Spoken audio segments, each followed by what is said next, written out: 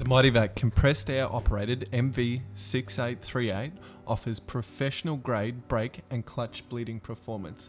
This compact yet powerful unit allows clean, quick bleeding of brake and clutch lines. The unit has an operational pressure of 60 to 150 psi and a flow rate of up to 1.9 litres per minute.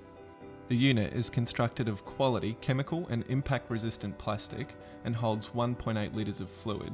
It also features an auto shut-off to prevent overflowing. The Mityvac vacuum brake bleeder features include a noise reducing muffler to ensure quiet operation, a quick connect coupling for fast operation even with greasy hands, a variable control thumb throttle to fine tune the desired flow rate, and an air swivel inlet. The kit includes the MV6830 brake bleeder, a 1.8 meter long bleed hose assembly, a 1.2 meter fluid evacuation hose, a molded base for benchtop mounting, a hanging hook, three universal bleed screw adapters, the operation manual.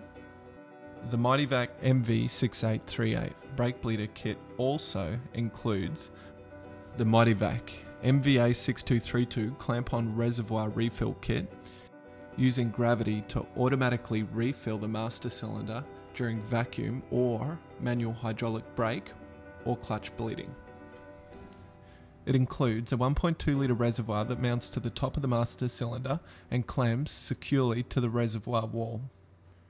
As old brake fluid is bled from the hydraulic system through the bleeder nipples, new fluid automatically flows into the reservoir to replenish the master cylinder.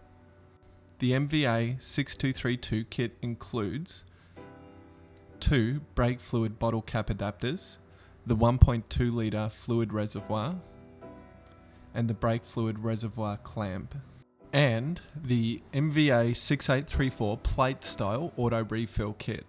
The plates included with the MV6834 significantly expand the number of applications to include dual chamber and small neck master cylinders, as well as low clearance applications.